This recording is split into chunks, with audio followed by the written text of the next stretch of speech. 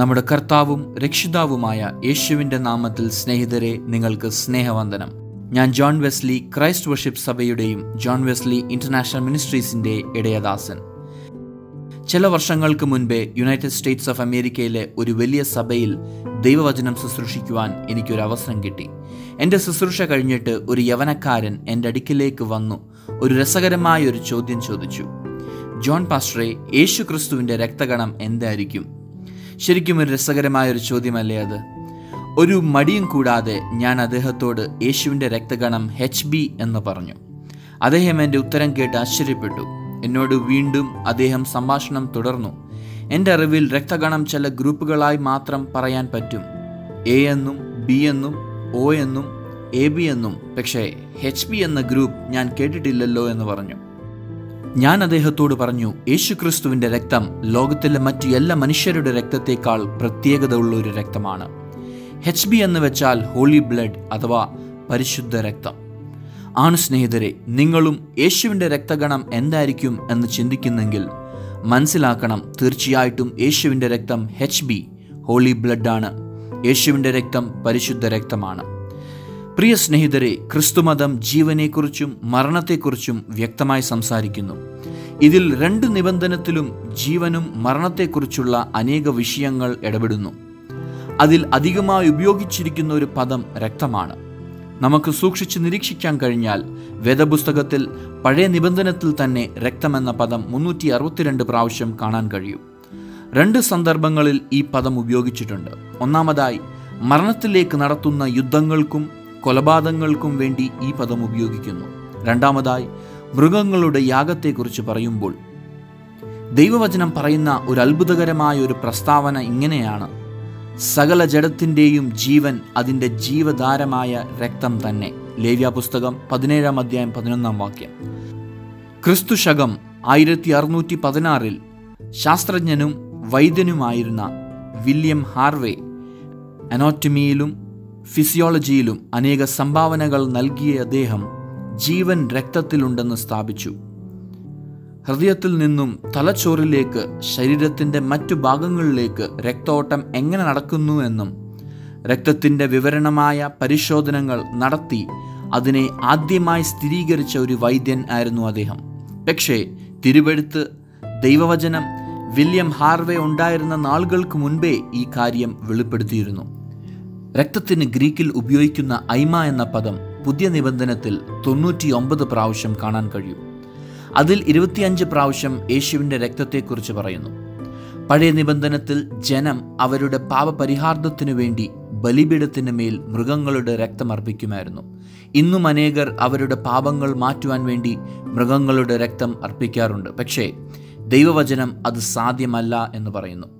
വചനത്തിൽ ഹെബ്രിയർക്ക് എഴുതിയ ലേഖനം പത്താം അധ്യായം നാലിൽ ഇങ്ങനെ പറയുന്നു. കാളകളുടെയും ആറ്റുകൊട്ടന്മാരുടെയും രക്തത്തിന് പാപങ്ങളെ നീക്കുവാൻ കഴിയുന്നതല്ല.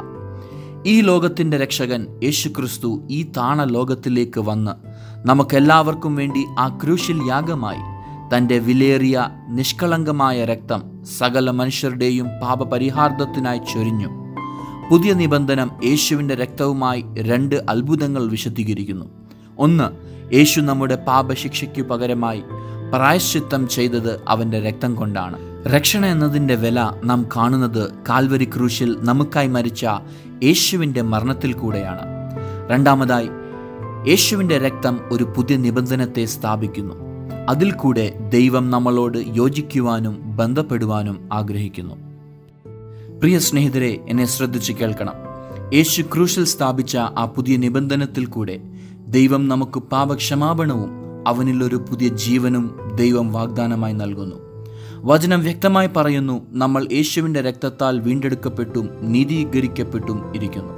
പത്രോസ് പറയുന്നത് പോലെ നാം നമ്മുടെ പഴയതും ശൂന്യവുമായ ജീവിതത്തിൽ നിന്ന് നാം രക്ഷകനായ യേശുവിന്റെ വിലയേറിയ രക്തത്താൽ വിടുവിക്കപ്പെട്ടിരിക്കുന്നു.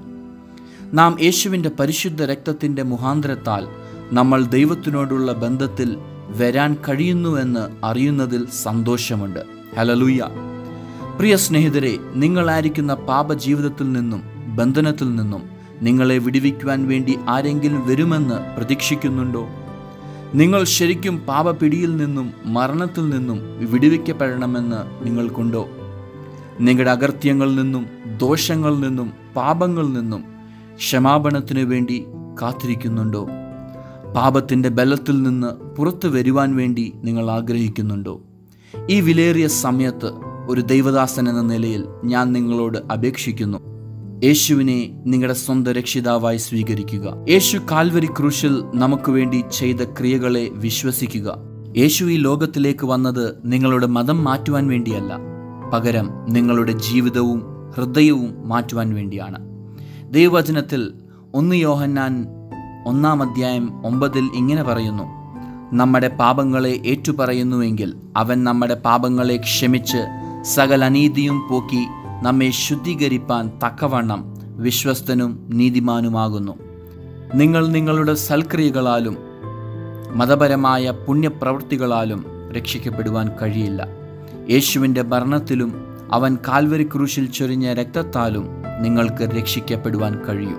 അതുകൊണ്ട് യേശുവിന്റെ രക്തത്തിലുള്ള ശക്തിയെ അറിയുക. അതിൽ കൂടെ രക്ഷിക്കപ്പെടുക ദൈവം നിങ്ങളെ എല്ലാവരെയും അനുഗ്രഹിക്കട്ടെ Man of God John Wesley is a chosen vessel of God, impacting millions of people across the globe with the gospel of Jesus Christ. He conducts large crusades in India and other parts of this world, in which the Holy Spirit God is moving powerfully and touching many hearts and families. At a very young age, he traveled to over 65 countries to teach biblical facts and life changing messages. He is pastoring Christ Worship Center, where 10,000 people worship the Lord every Sunday and are being nurtured in the Word of God. John Wesley Foundation, Pastors League of India, Bible Wonders Media Ministries, Christian Doctors Association, Christian Couples Club, Young Holy Team, Christian Employees and Businessmen Fellowship, Shekinah Publications are the various wings of John Wesley International Ministries.